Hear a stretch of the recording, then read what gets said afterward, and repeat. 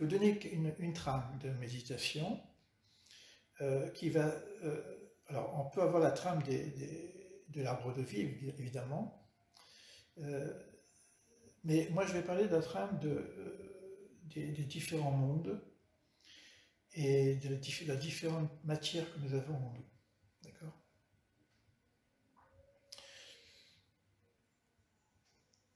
J'utilise souvent le souffle dans la méditation, comme dans toutes les méditations classiques. Hein. Vous, prenez euh, Kaplan, qui reprend aussi les, textes de méditation. Vous avez un livre qui s'appelle La méditation juive hein, chez Kaplan. Hein. Donc, euh, donc, on voit bien que ça existe. Vous prenez euh, Aboulafia, il parle aussi de méditation sur les lettres, etc.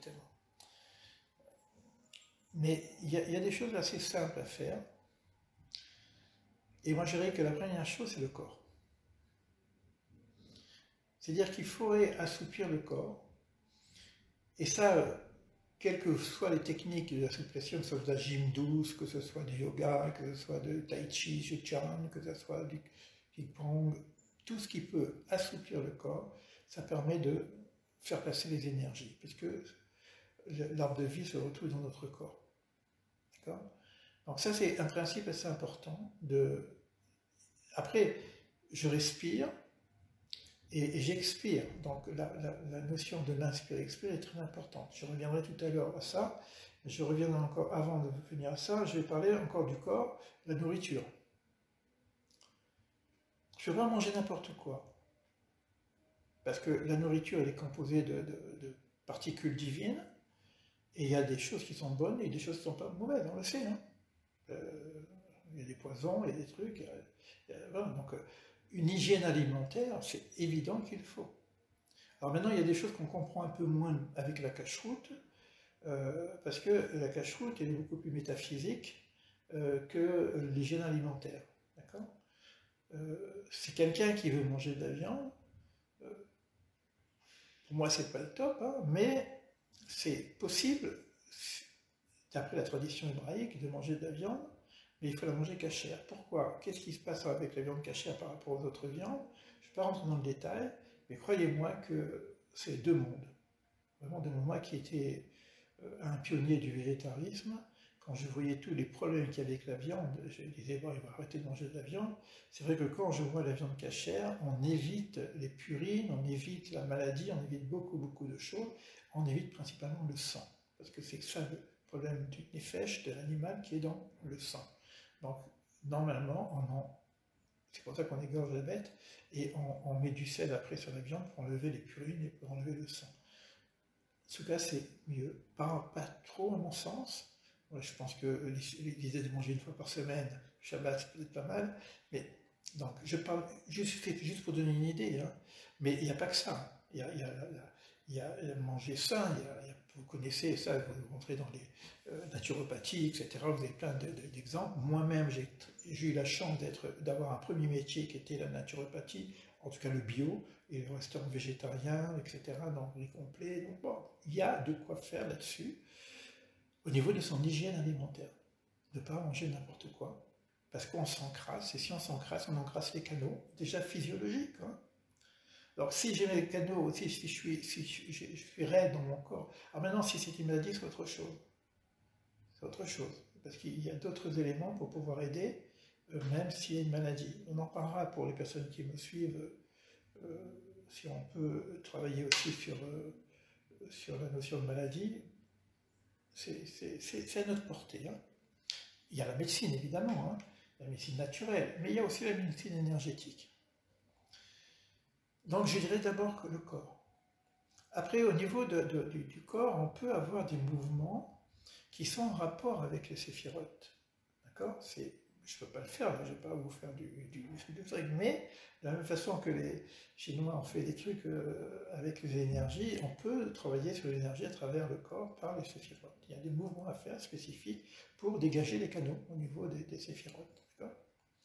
Vous voyez, donc, on a quand même des, éléments qui nous permettraient d'améliorer euh, la structure de base extérieure, l'habit de l'âme, en tout cas, on va dire ça comme ça.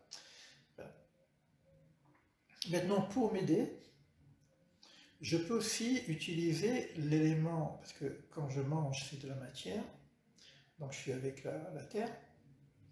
Maintenant, euh, comme j'ai plusieurs niveaux d'être, j'ai donc le corps, le nefesh, le psychique, le ruach, l'esprit, on va dire ça comme ça, le vent, et puis la neshama qui est la partie euh, divine.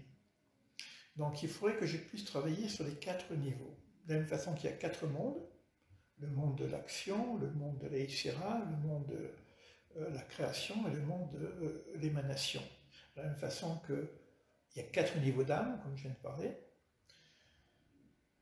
Donc, qu'est-ce que je peux faire Je peux me mettre sur la zone intermédiaire pour essayer de travailler mon corps. Alors, j'ai parlé de la nourriture, je peux parler de l'eau aussi, hein, parce que l'eau fait partie du nettoyage. Euh, Tout ça, on est dans l'hygiène alimentaire, l'hygiène, le boire, etc. Donc, euh, faire attention à tous ces éléments-là.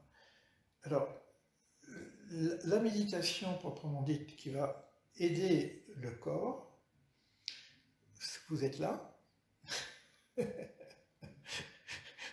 vous êtes un peu loin. Hein. je, vais je, vais, rapprocher un petit peu, voilà. On va travailler comme ça plus près. Je crois que c'est mieux. Je vais vous donner un, premier niveau, et après vous allez voir que c'est la même chose qu'on fait sur tous les autres niveaux. D'accord? Euh, Donc le souffle. D'accord? Donc j'ai parlé de, de la nourriture, j'ai parlé de l'eau, maintenant on va parler du souffle. Quand je respire, je prends de l'énergie air de l'extérieur, et cet air va alimenter mon corps, toutes mes cellules. Non seulement ça alimente mon corps, mais ça nettoie mon corps. Donc tout à l'heure quand j'ai parlé de l'eau, et l'eau ça va un peu m'alimenter, mais ça aussi me nettoyer. Donc il y a dans les aliments des choses qui nettoient, des choses qui, qui nourrissent. Et sachez que dans chaque chose, comme j'ai dit tout à l'heure, il y a des particules divines quoi que vous fassiez, quoi que vous mangez, quoi qu'il y a toujours. C'est pour ça que nous on fait une bénédiction. Pourquoi la bénédiction? Parce que je nourris pas que mon corps.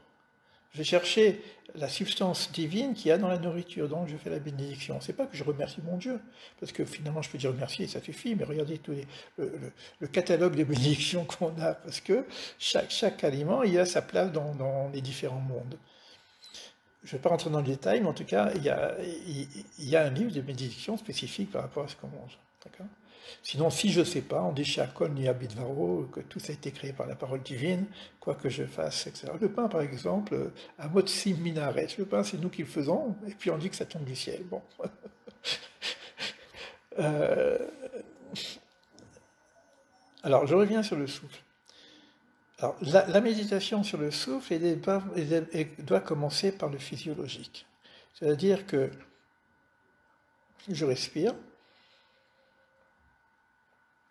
je mets une kavana, une intentionnalité, une pensée que cet air, cette énergie de vie, va nourrir mes cellules, mais elle passe par le cœur.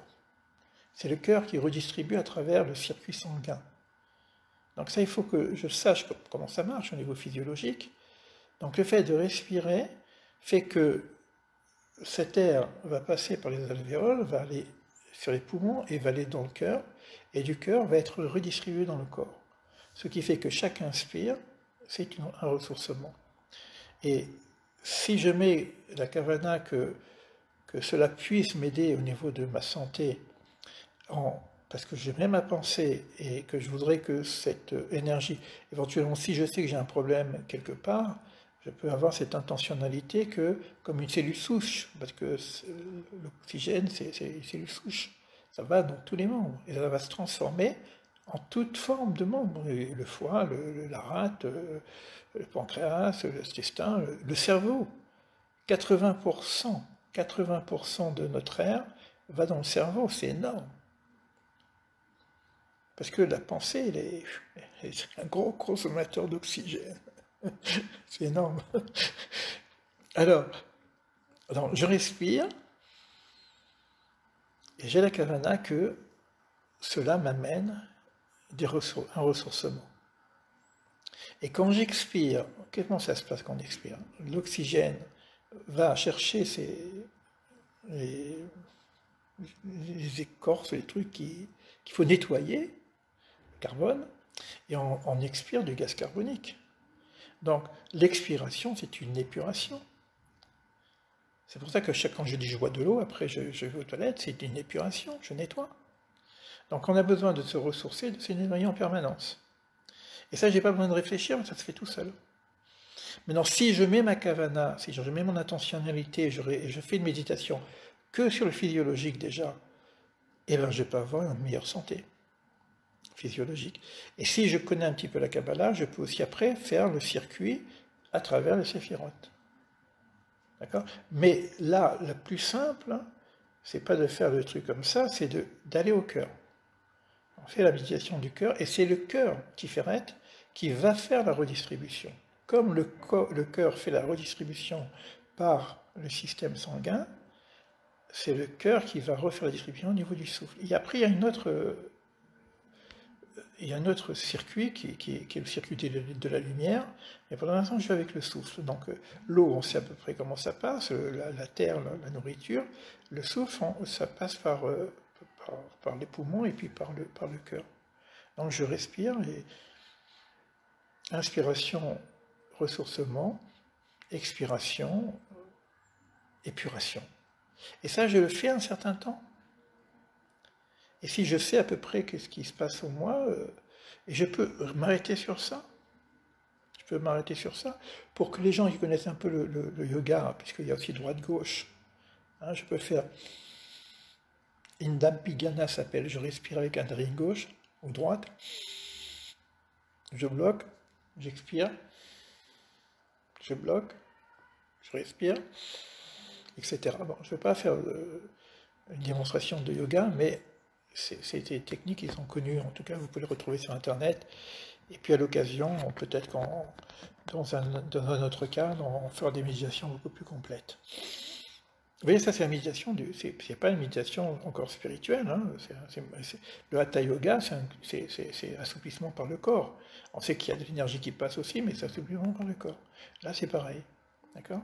Maintenant, comme j'ai plusieurs couches en moi, que j'ai pas qu'un corps, que j'ai aussi un effèche qui est en relation avec le corps, ce qu'on appelle la psychosomatique.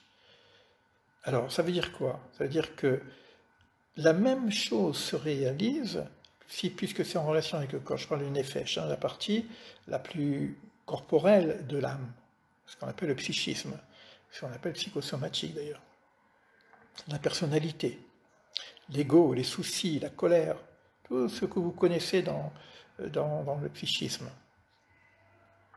Les sentiments. Euh. Alors, je vais faire la même chose par le, souffle. Parce que c'est le souffle, c'est l'intermède entre le haut et le bas. C'est le roi, d'accord? Donc, je vais appeler encore mon roi, qui est ma partie spirituelle la plus profonde, mais pour l'instant, je tire un support qui est l'air.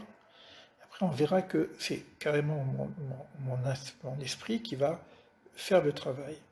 Et là, le circuit est un peu différent. Euh, je respire. Et toujours pareil à travers Tiferet, je vais donner de la force, de la ressource à mon, ma partie psychique. Je sais que j'ai des problèmes psychologiques, je sais que j'ai besoin de force, j'ai besoin de confiance, j'ai besoin de ce que je veux. Voilà. Et puis quand j'expire, je vais nettoyer un petit peu cette partie un peu tordue, euh, psychique chez moi, etc. Mais ça, je mets la kavana. Alors, si je fais un certain temps et que je ne fais que ça, et que je le fais sérieusement, il est probable que la pensée va interférer. Et c'est à ce moment-là que on peut regarder la pensée. Qu'est-ce que tu viens me raconter? La pensée va me donner des informations. C'est-à-dire qu'elle va me ramener euh, des éléments un peu tordus chez moi, peut-être ma colère, peut-être euh, euh, ma rigueur, peut-être je ne sais pas quoi. D'accord? Ce qui fait que je vais avoir un élément, et à ce moment-là, quand je respire, je sais que je vais me donner la force pour pouvoir équilibrer ma, structure. Je ne parle, pas de combat, en général, hein, c'est toujours une association. Hein, et que le, le, nettoyage va se faire à l'expire, de façon à réduire un petit peu ces, écorces euh, psychiques que j'ai en moi. Ça, c'est extrêmement important. Alors, ça ne suffit pas. Ça ne suffit pas. Pourquoi que quand on parle de méditation chez nous, dans la tradition juive, on ne peut pas faire simplement des mouvements? Alors qu'est-ce qu'on fait, puisqu'on est dans les séphirotes On va lire des textes. on va méditer sur le texte. Et le texte le plus, pour le psychisme, hein, c'est les Pirkavot. Pour ceux qui ont qui regardent un petit peu, bah, allez dans, mon, dans, YouTube, il y a pour l'instant 4-5 euh, propositions de Pirkavot, il y en a d'autres qui, qui vont venir, ils sont vraiment très costauds, hein, vraiment.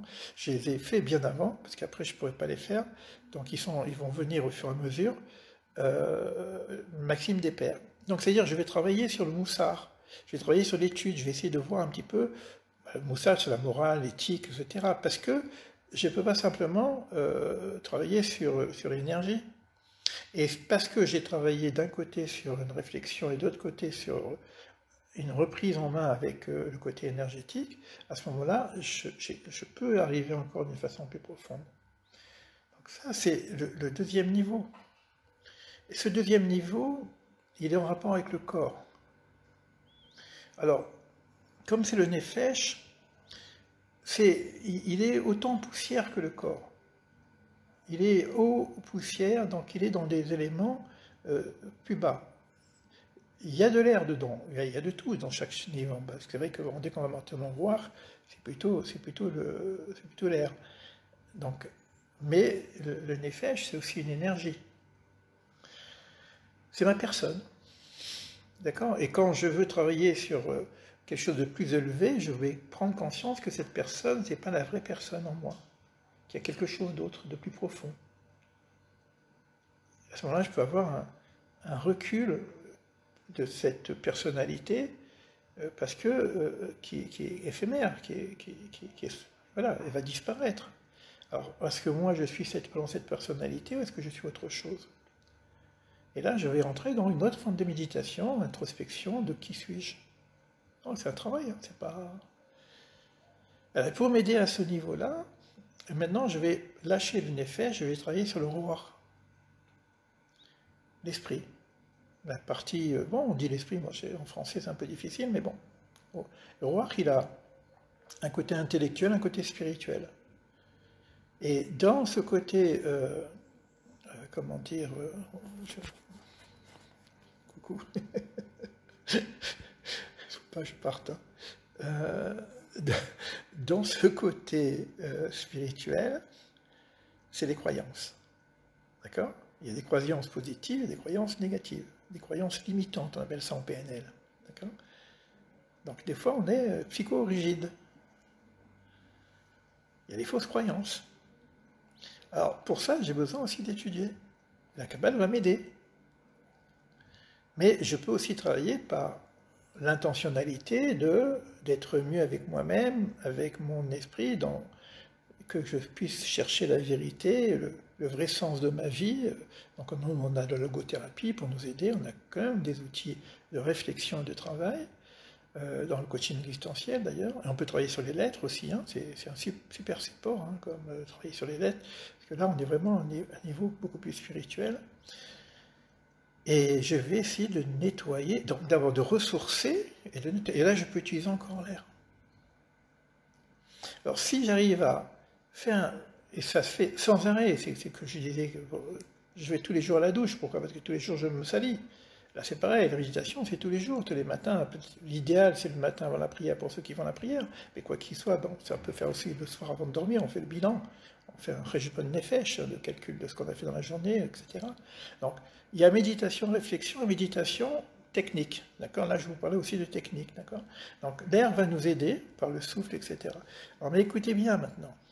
Ça, c'est la clé qui est à l'intérieur. Je disais qu'il y a une maison, mais les portes sont fermées, la clé est à l'intérieur. Alors, ça veut dire qu'à l'intérieur de vous-même. Alors, si j'arrive à faire ce travail-là, sérieusement, si je suis aidé aussi, conduit, etc., bon, ça ne se passe pas comme ça, tchic-tchac, hein, il n'y a pas l'effet de grâce, machin. Donc il y a une vraie prise en charge de ma personne, une vraie prise en charge de mon corps, une vraie prise en charge de, de, de ma partie spirituelle, de mon être profond, etc. Donc je fais un travail sur ça. Donc ça se, les canaux sont déjà dégagés. Après, je peux mettre des lettres, je peux faire plein de choses avec les ciphérodes. Bon, pas, bon, en tout cas, ça prend du temps. Quand c'est dégagé, qu'est-ce qui se passe? Gouf, le corps, le nefesh, le roi, il nous reste un neshama. Or, on nous dit que le neshama, elle est toujours pur. Un neshama chez Natati Torah, elle est pure. On ne peut pas travailler là-dessus. Alors comment ça marche avec la guérison de l'âme? Comment ça marche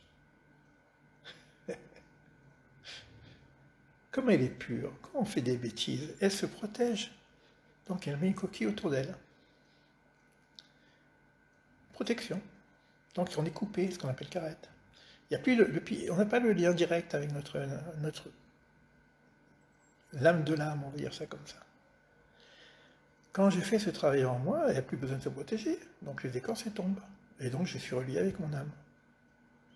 Et là, je ne sais pas si elle est là d'ailleurs, euh, si Rachel est là, c'est là que commence la thérapie des lumières.